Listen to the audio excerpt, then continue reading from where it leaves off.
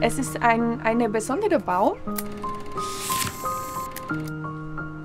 weil er ist der einzige tropische Baum, der bei minus 20 Grad überleben könnte. Und dann fand ich sofort diesen Parallelismus zwischen unseres Eis und auch mit uns, ne? Also ein bisschen tropische Menschen hier im Winter. Und das fand ich die Idee sehr lustig und passend zu unserem Eis, ja.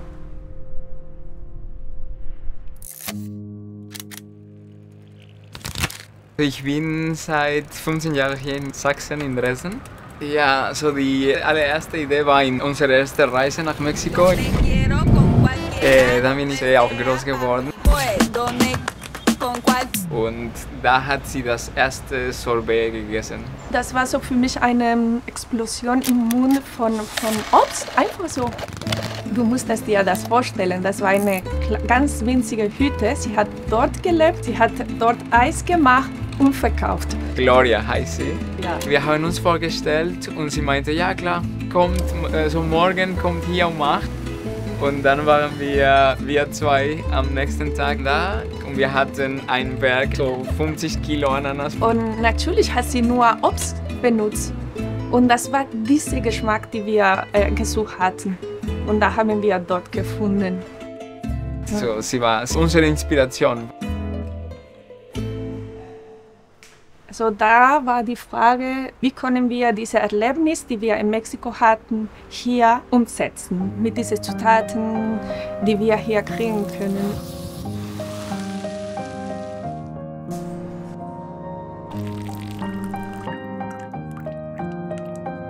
Und zum Beispiel Grießbrei ist was Fantastisches. da haben wir gesagt, sofort, wir müssen ein, eine Eissorte drauf machen. Ich denke, dass die Liebe durch den Magen gekommen ist. er kocht natürlich ganz, ganz gut. Ähm, gute Frage. Und schwierig, ja, ja. Also ich persönlich finde Sachsen meine Heimat. Äh, wir haben unsere Familie gegründet hier. Aber seit dies, in dieser Zeit habe ich ungefähr vier oder fünf rassistische Angriffe. Ich habe das nie geäußert, weil es ist schwer, sowas in der Öffentlichkeit zu sagen. Ja, konkrete Beispiele bei uns sind Äh, zum Beispiel in der Straßenbahn, äh, auf dem Supermarkt. dass wir schneller sein sollen, weil wir hier in Deutschland sind und nicht in unsere Länder. Ja, dass wir nach Hause gehen sollen. Natürlich in diesem Moment haben wir überlegt, wegzuziehen.